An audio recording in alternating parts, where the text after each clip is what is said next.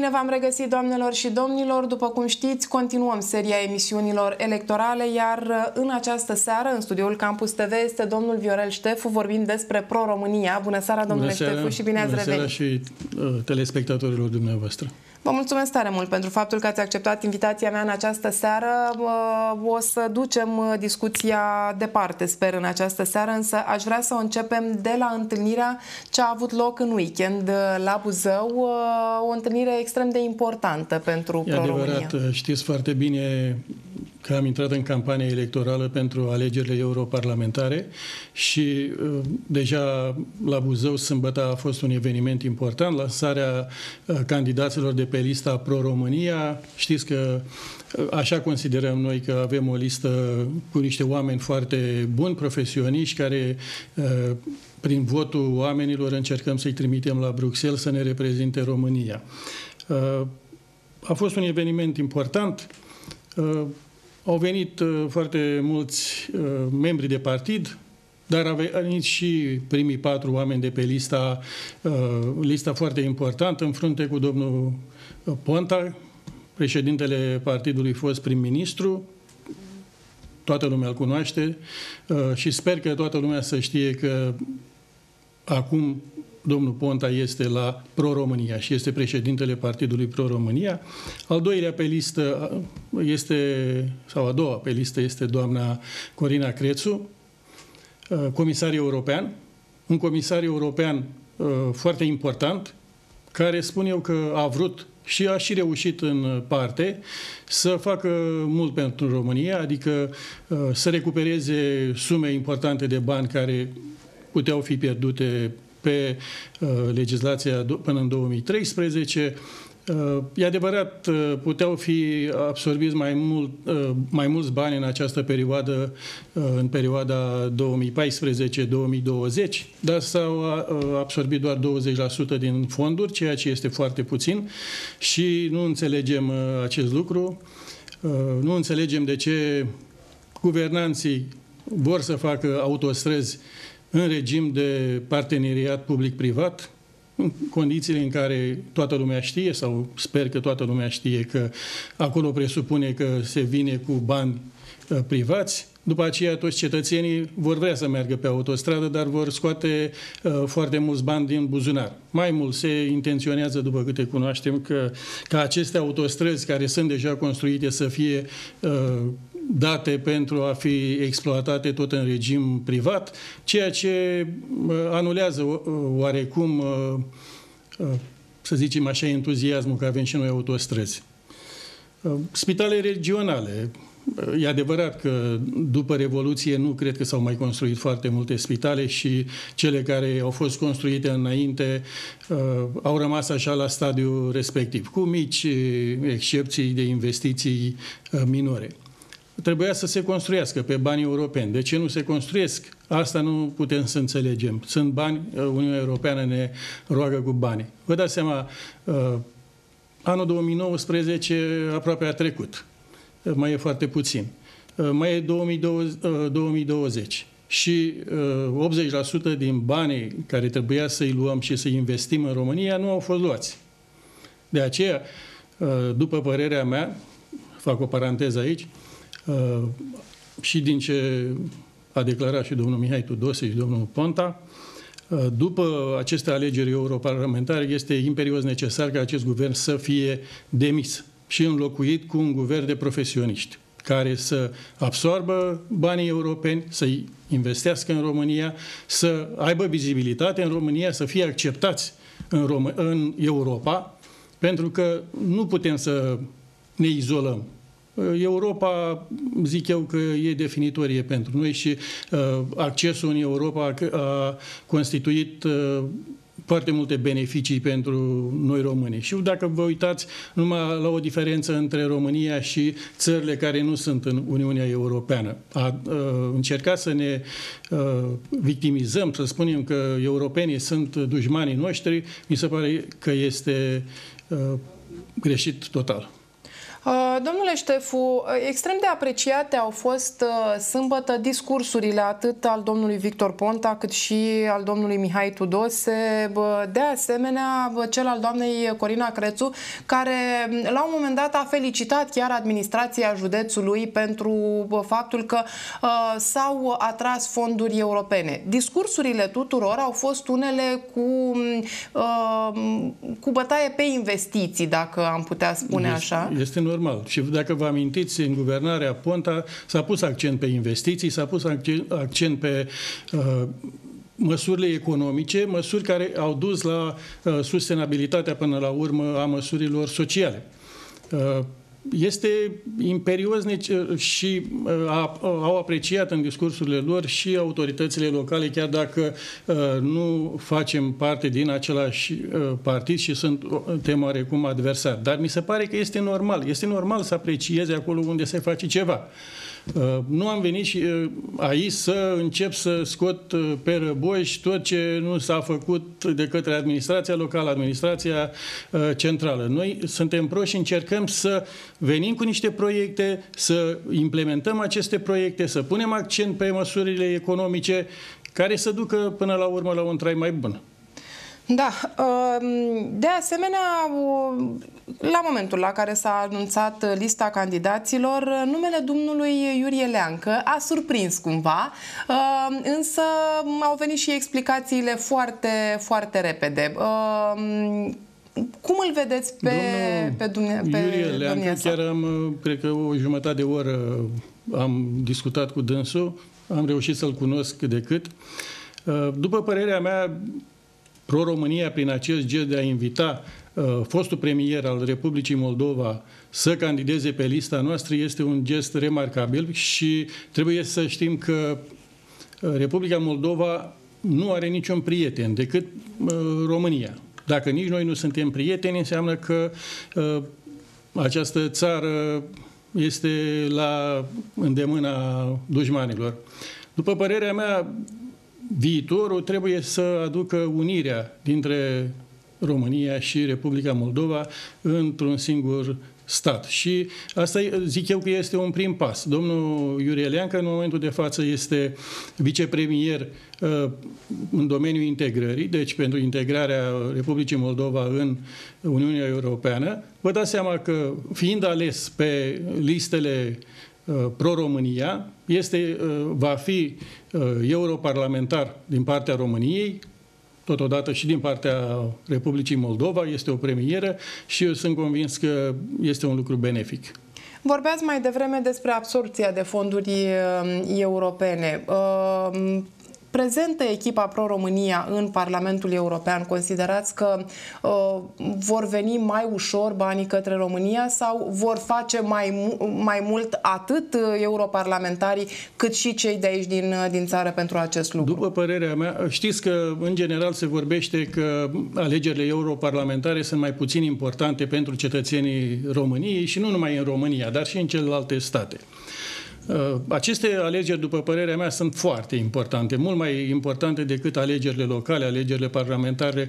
În, uh, uh, de ce? Pentru că, după cum te vedeți, nu s-a aprobat bugetul Uniunii Europene. Doamna Corina Crețu a propus suplimentarea bugetului României cu 6 miliarde de euro, ceea ce este o sumă considerabilă. Nenorocirea este că noi nu am reușit să luăm nici banii, așa cum spuneam, uh, care trebuia să-i luăm până în anul 2020 și încă 80% din valoare este uh, la Bruxelles. Uh, de aceea eu cred că românii, românii trebuie să, și buzoienii trebuie să iasă la vot.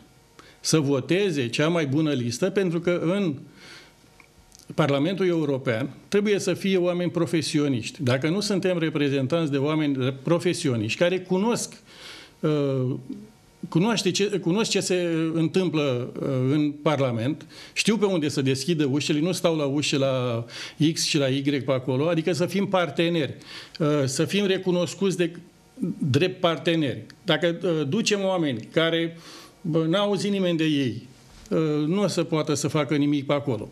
Dar uh, faptul că trebuie să ajungă niște oameni profesioniști la Bruxelles este una.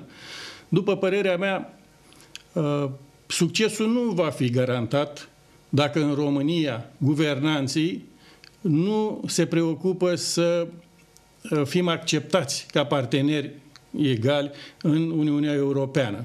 Dacă se autoizolează, după părerea mea, sunt unii care se autoizolează. Uh, numai uh, neparticiparea unor politicieni la ședința de deschidere sau de început a președinției Uniunii Europene, a Consiliului Uniunii Europene, de către România, Uh, denotă că ne izolăm sau uh, acei politicieni se autoizolează, ceea ce uh, și vedeți că nu au în Europa, ei spun că europenii sunt dușmanii lor, că le aduce mâncare otrăvită, că după părerea mea nu este așa, după părerea mea noi trebuie să ne ridicăm la nivelul lor și să fim adevărați parteneri. Și aici, în România, trebuie să schimbăm această uh, gândire uh, și să găsim proiecte, să ne preocupăm să luăm acești bani pe care ni dă degeaba Europa. Uh, dacă guvernul nu face tot ce e posibil ca să scrie proiecte foarte bune, dar proiecte mari, cum ar fi autostrăzile, cum ar fi aceste spitale regionale și sunt drumuri județene, de exemplu, ar, uitați, uh, uh, vorbim de dezvoltare și de investiții, da? Uh, dacă mergeți în județ, mai ales în comunele care sunt mai pe la periferia județului, o să vedeți că sunt pline de gropi, o să vedeți că se circulă foarte greu. Vrem să dezvoltăm turismul, da? Cum să dezvolți turismul când uh, Uh, abia poți să ajungi în anumite comune. Deci, de exemplu, în comuna Bisoca. Este foarte greu de ajuns. Am fost de două ori în această primăvară uh, și uh, drumurile sunt foarte proaste, ceea ce împiedică total turismul, cu toate că este o zonă foarte frumoasă și s-ar putea dezvolta acest turism. Nu s-au făcut cetățenii. Vrem să trăim în acest an, 2019, da? marea majoritate a localităților rurale nu au gaze. Uh, în ziua de astăzi uh, este de bun simț să ai gaze. și vă dau un exemplu. La mine, în comuna de unde sunt, Tisău, există o zonă, Bărbâncești, unde se exploatează gaze naturale. Uh, în această comună nu există gaze. Este normal? Nu mi se pare normal. Canalizare. Cum se pot dezvolta unele, să dezvolt o societate comercială că, când ar trebui să deversez ape uzate, rezultate din procesul de producție și așa mai departe. Unde să le dai? Să le dai în sol? Nu există canalizare, nu există o stație de epurare, nu există astfel. Deci aceste lucruri sunt necesare să fie realizate prin investiții, prin bani europeni. Din păcate... Idei românești. Am văzut o reclamă la televizor, uh, idei românești, să luăm banii europeni. Da? Să, le, uh, să luăm acești bani europeni pe niște proiecte adevărate uh, care să aducă plus în viața cetățenilor. Asta este ideea. Și să nu ne uităm să, cum se poate fura din acești bani și pentru noi. Da, uh, din păcate vorbeați despre parteneriatul acesta pe care Pro-România îl vede între România și uh, Uniunea Europeană. Însă mm, și despre importanța alegerilor. Uh, sunt, uh, sunt studii, sunt discuții avute cu oamenii de rând. Oamenii uh, nu dau o asemenea importanță sau nu dau importanța care trebuie alegerilor europarlamentare, în primul rând uh, din cauza faptului că, în general, după alegeri, ei nu mai văd acești, acești da. candidați, în primul rând. Și nu-i văd, nu că nu-i văd fizic în satul lor sau în orașul lor, nu-i văd nici măcar la televizor să iasă să e spună adevărat, ce au făcut. Poate Corect. ar trebui trebui să, uh, să, să vină la televizor și să arate. Uh, am văzut și eu unii parlamentari care nu i-am văzut niciodată și am văzut uh, înainte de campania electorală când urma să fie sau să nu fie puși pe listă. Dar Europarlamentarii mai sunt uh, importanți și de asta uh, contează foarte mult priceperea, viziunea lor. Pentru că Parlamentul European votează așa zisele legi europene, care sunt uh, obligatorii pentru toți cetățenii Europei.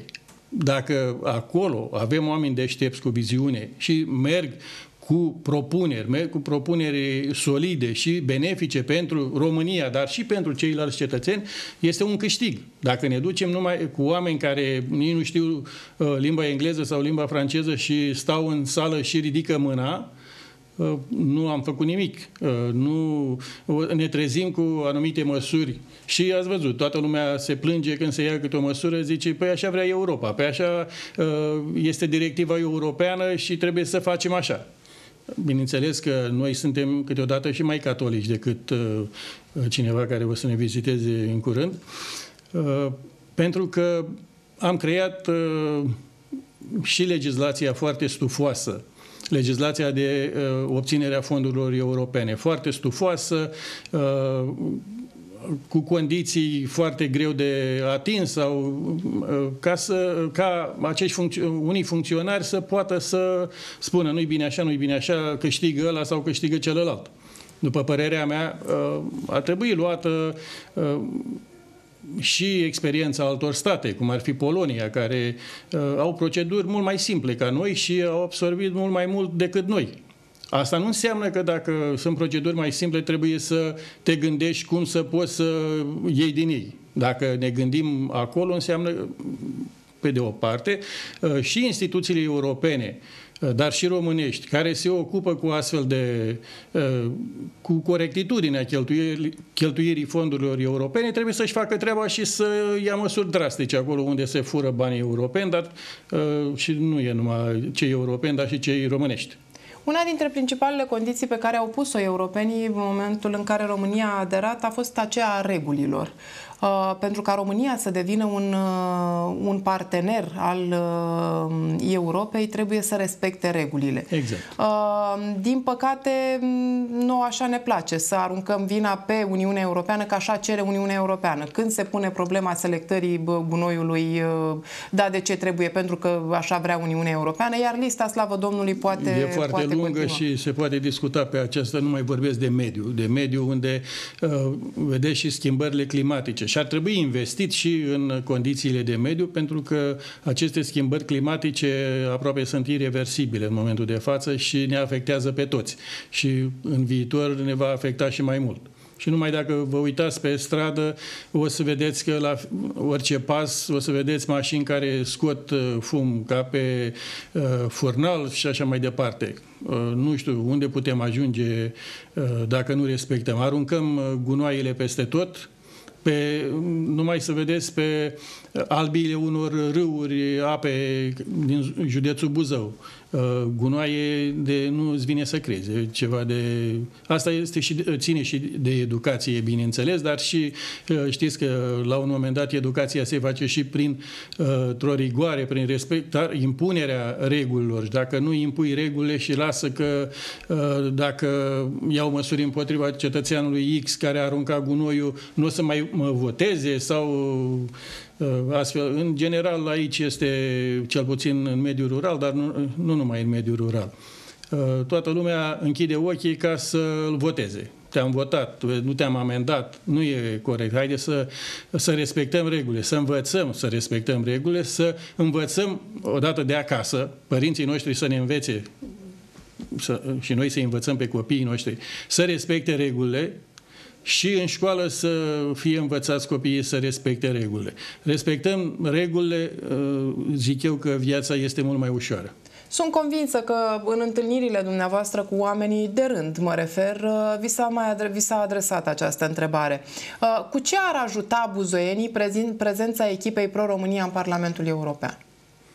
Păi, v-am spus, echipa Pro-România este o echipă, zic eu, performantă, cu oameni profesioniști, care cunosc regulile, cunosc cu, cu doamna Corina Crețu, știe ce se întâmplă în Parlamentul European, știe ce se întâmplă în Comisia Europeană, știe cum să pună problema pentru a uh, obține avantaje, în mod normal, pentru România, dar și pentru județul Buzău. Noi trebuie să mergem acolo și să arătăm că avem nevoie de fonduri europene pentru anumite uh, proiecte, pe care le vedem uh, necesare în România. Și cum v-am spus, canalizare, infrastructură rutieră, dar nu numai infrastructură rutieră mare, cum ar fi autostrăzile, ci drumurile județene, drumurile comunale, să nu mai uh, meargă cetățenii uh, până la genunchi în noroi.